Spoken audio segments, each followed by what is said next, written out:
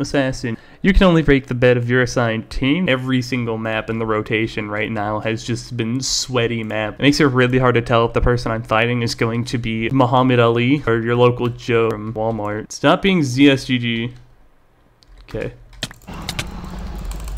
Dude, place my blocks, place my blocks, place my blocks. Of course, it's not my first rush because I feel like it's like purposefully programmed to suck. Look, great, you can have fun right there, but you're gonna take a lot of fall. Oh no, you're just gonna fall in. Hello, below average brain cell. That's you, by the way, Gray.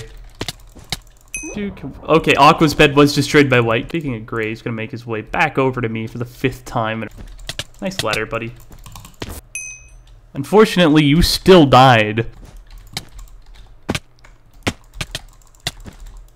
Okay, great. I think it's. I think he's going. Oh, he just tried to show off. My KD is going to be up to like 2,407 per person. Aqua Team just died, and my target's red. I'm not gonna lie, I am having fun killing Gray. Probably a new favorite pastime. He does not know how to walk. A red team is going to take his sweet ever-loving time to make it over somewhere. Okay, red's finally gonna make a push to me. Alright, I just want to kill red for now. Um, star, star, star, um, closed square bracket A. Personally, I think that was very offensive. Gray has made his way over to red. Hey, red. What about me?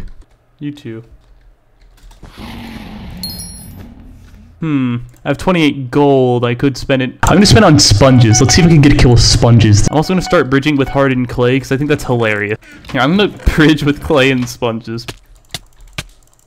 Okay, that was pretty easy. Oh god, come on, do it.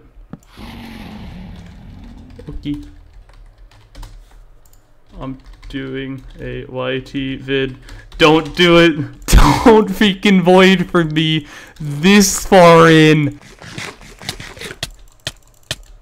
Oh my god, he is he is